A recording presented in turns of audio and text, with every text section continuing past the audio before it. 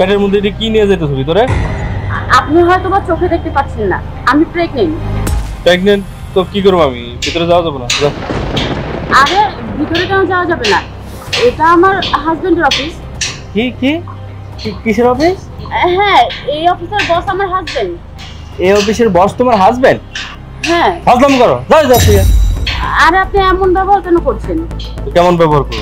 আমাদের স্যার তোমার husband husband করার জায়গা পাও না? এই যে তুমি যাও যাও, সময় নেই, যাও তো? হ্যাঁ এই অফিসের বস আমার হাজবেন্ড হয়। এই অফিসের বস তোমার হাজবেন্ড আর এটা আমার মানে নিতে হবে তাই না? এই অফিসে কত মেয়েরা আসে এই হাজবেন্ড পরিচয় দিয়া কত বাচ্চা কুলে নিয়ে আসে এটা বিশ্বাস করি না তুমি এসো স্যারের বউ পরিচয় দিতে না? যাও যাচ্ছে যাও। আরে কি হয়েছে কি? আর কি হয়েছে মানে? কোথ থেকে আইসা কইতেছে আমার স্যারের বউ আবার ওই প্রেগনেন্ট প্রেগনেন্ট তাই নাকি? তোর যে ড্রেস আপ দেখা যাচ্ছে এমন ড্রেস আপ তো আমার কাজের মেয়েরা পরে। আর তুই কিনা বলছিস তুই ওয়াইফ যত সব আসছে আমার ওই জায়গায় কত মেয়েরা ওই বাচ্চা কুলে করে নিয়ে আসে তাই বিশ্বাস করি না। আবার আইসে হ্যাঁ আইসে প্রেগনেন্ট হয়ে স্যারের বউ। আচ্ছা বুঝতে পারছি। তোমরা এইভাবে মানবে না। তাই তো আমি সাব্বিরকে কলই দিচ্ছি। কি হয়েছে আমার ফোনটা বন্ধ হয়ে গেছে।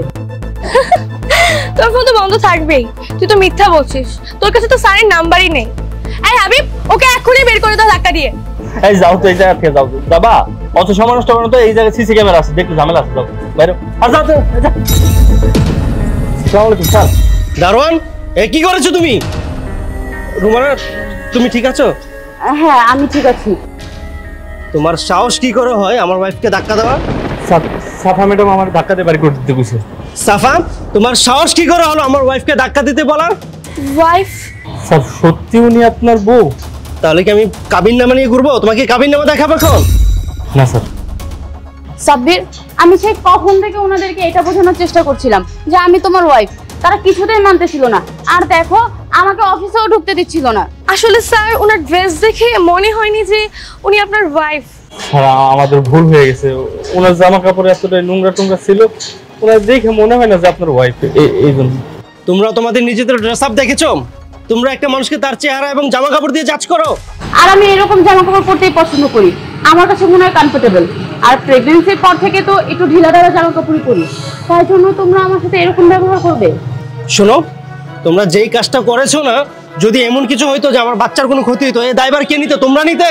স্যার ভুল হয়ে গেছে এরকম আর কখনো হবে না স্যার আমাদের মাফ করে দেন। হ্যাঁ স্যার আমাদেরকে মাফ করে দেন। আর সাব্বির ওরা এটাও বলেছে এরকম নাকি অনেক মহিলা তোমার অফিসে আসে যারা নিজেকে তোমার ওয়াইফ বলে দাবি করে। আর হ্যাঁ এই কথাটাও বলেছে এই বাচ্চা নাকি তোমার না আমি নাকি কার না কার বাচ্চা কেটে নিয়ে চলে আসছি। তোমাদের সাহস কি করে হলো এই কথা বলার? স্যার আমরা আসলে ওনাকে তাড়ানোর জন্য এটা বলেছি আমরা বুঝতে পারিনি যে সে আপনার ওয়াইফ তুমি ওকে তাড়ানোর জন্য আমার চরিত্র নিয়ে কথা বলেছ? আমার সম্মান হানি করেছ তোমরা? তোমাদের কাছে কি আমার সম্মানের একটু দাম নেই? যদি এমন কিছু হইতো আমার বাচ্চার কোনো ক্ষতি হতো আমি তোমাদেরকে চাকরি থেকে বের করে দিতাম। স্যার আমাদের চাকরি থেকে বের করবেন না। তাহলে না খেয়ে মরতে হবে স্যার। স্যার এরকম ভুল আর জীবনেও হবে না স্যার। আমাদের মাফ করে দেন স্যার। হ্যাঁ স্যার আমিও বুঝতে পারিনি। আমাদেরকে ক্ষমা করে দিন। আচ্ছা সাব্বির বাদ দাও। ওনারা যে ওনাদের ভুল বুঝতে পেরেছে এটাই অনেক। তুমি ওনাদের মাফ করে দাও। আর ওনারা কখনো কারোর সাথে এরকম খারাপ ব্যবহার করবে না। বিশেষ করে তো যারা প্রেগনেন্ট তাদের সাথে। ঠিক আছে। তুমি যেহেতু বলেছ। আমার ওয়াইফ বলেছে, তাই আমি তোদের দুজনকে ক্ষমা করে দিয়েছি। কিন্তু ফারদার এরকমটা যদি কারোর সাথে করেছিস না, তোদের দুজনকে আমি জেলের ভাত খাওয়াবো। কথাটা মনে রাখিস? চলো।